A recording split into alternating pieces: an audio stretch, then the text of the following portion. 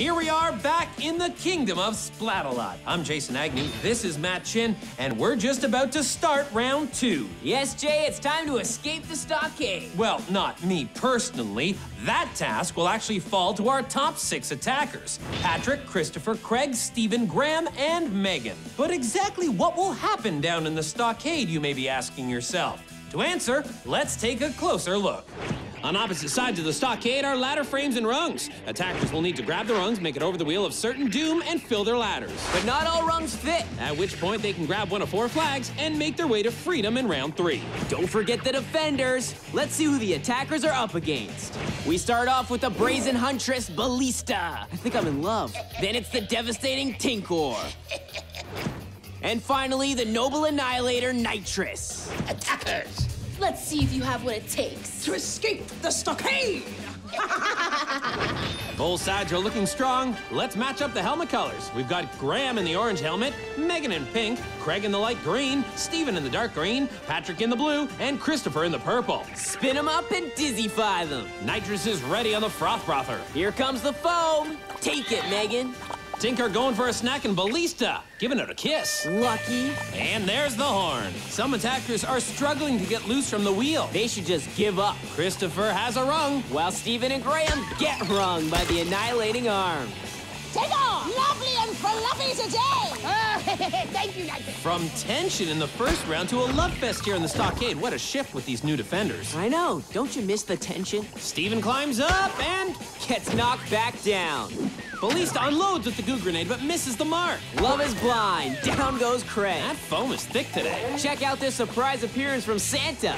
I want a flag for Christmas, Santa. Christopher now is trying to take down the annihilating arm single-handedly. No dice. Steven is up. But the arms are having none of that. Rejected.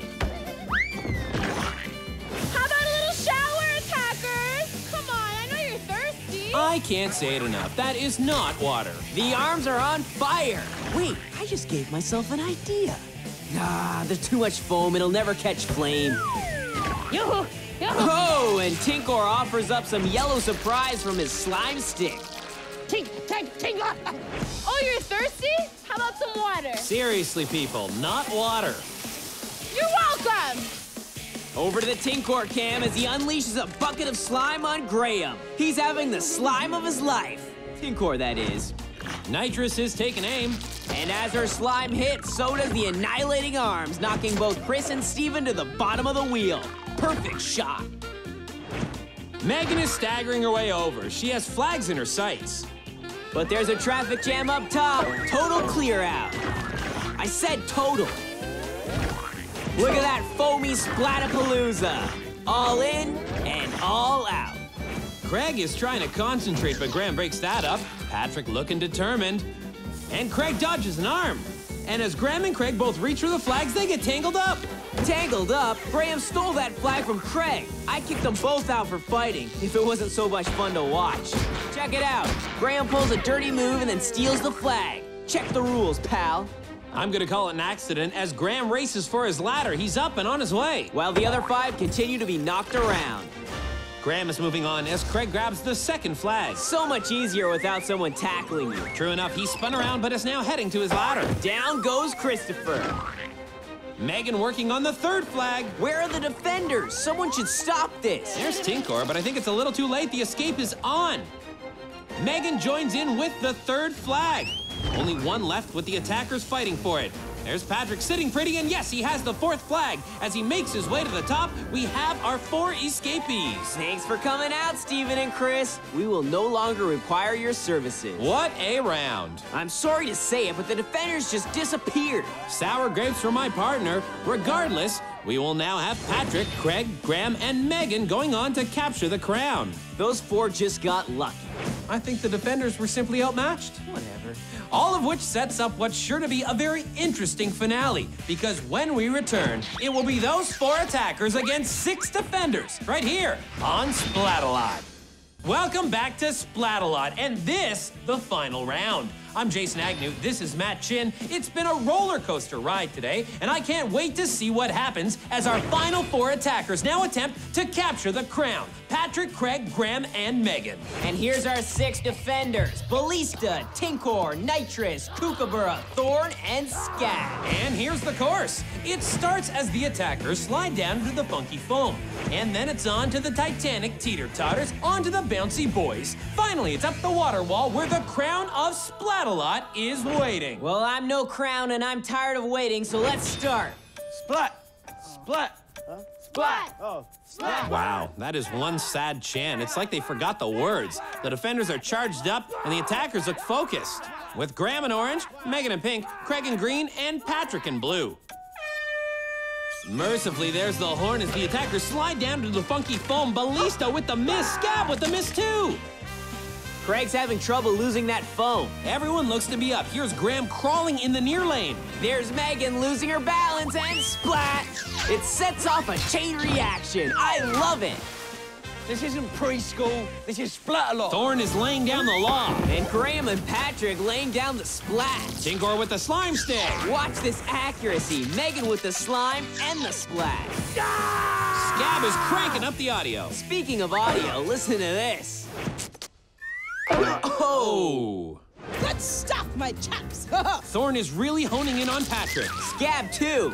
Mission accomplished. Not so fast. It looks like Patrick is making a move to the barrier of all barriers. As Nitrous fires up the vaporizers. Still, Patrick is over the barrier and the water wall has started up. We're getting down to it.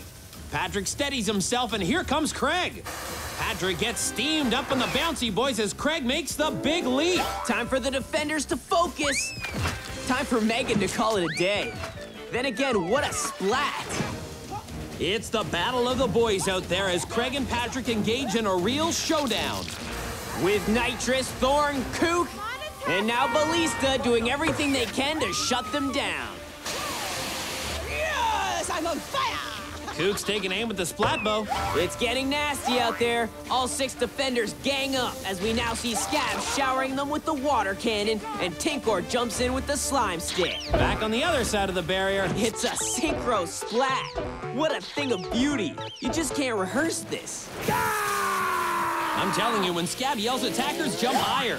As you watch this leap again, imagine Skabb is right there yelling in his ear. Wait, is Megan gonna make this a three attacker race?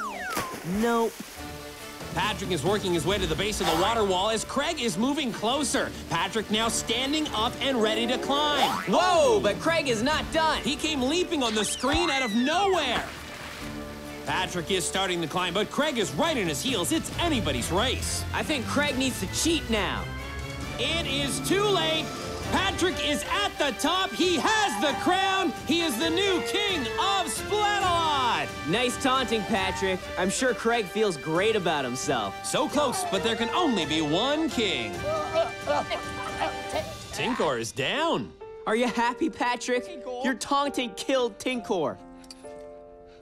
Oh my, um, I'm going in. That was all a gag. Tinkor's fine.